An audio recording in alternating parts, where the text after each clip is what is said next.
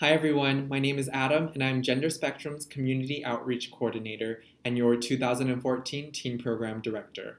I'm here to share a little bit about this year's Teen Conference, and if you haven't attended before, our space is about creating a safe environment for all young people to just be themselves without fear of judgment. If you have come to our conference, this one is not to be missed. We've spent the past year working with community partners to develop workshops and panels to help increase your understandings of gender within your own communities and around the world. We've also given extra attention to creating a structure so that it's more easy to meet new people. You'll find yourself in home groups with the support of home group leaders, and one of the very first activities on Friday evening is a campus wide scavenger hunt. I really do look forward to seeing you all soon, and we still have a bit of time. If you're interested, you can apply for a teen scholarship online at genderspectrum.org. If you need to get a hold of me, my contacts are in the description.